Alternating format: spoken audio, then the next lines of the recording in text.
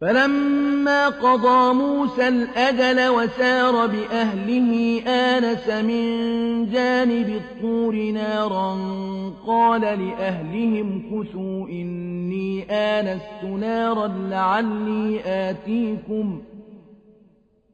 لَّعَلِّي آتِيكُم مِّنْهَا بِخَبَرٍ أَوْ جَذْوَةٍ مِّنَ النَّارِ لَعَلَّكُمْ تَصْطَلُونَ.